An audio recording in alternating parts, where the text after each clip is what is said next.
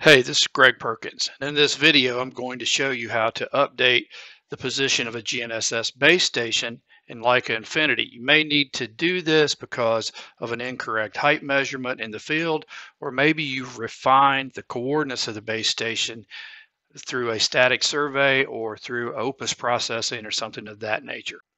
So here I have a GNSS survey.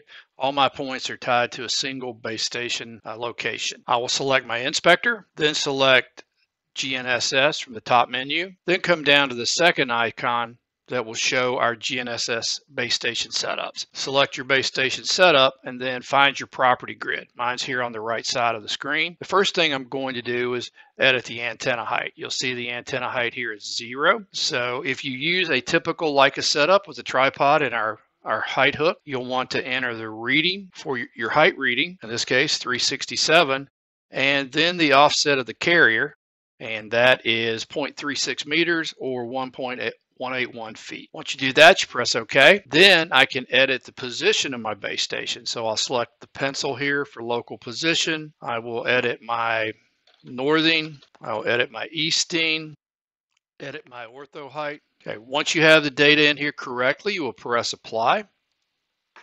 And then you'll get a notification here on the screen of the adjustment. So you'll notice we have a delta X, delta Y, delta Z. So we've adjusted our coordinates. And then we also have a delta height and everything that's tied to that reference station location will be moved. So once you're done, press OK. That's how you update a GNSS base station observation.